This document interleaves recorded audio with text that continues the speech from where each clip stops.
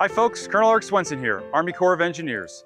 We understand how important trees are to this community, not just for their beauty, but for the environment, shade, and stability of the land. That's why I want to take a moment to clarify how we determine which trees must be removed. Not every tree that has been marked will be removed. We only remove trees that, one, pose an immediate safety risk to the public or work crews, two, are within the ash footprint and must be removed to safely clear debris, or three, have been evaluated by a certified arborist and determined to be dead or expected to die within five years. You'll notice trees marked with three blue dots at eye level and a barcode tag placed near the base of the tree. This means that they have been assessed for potential removal. We know this is an emotional process and we're working closely with Los Angeles County. If you have concerns, we encourage you to reach out. Thank you for your patience and trust as we work to clear debris from the community safely and quickly.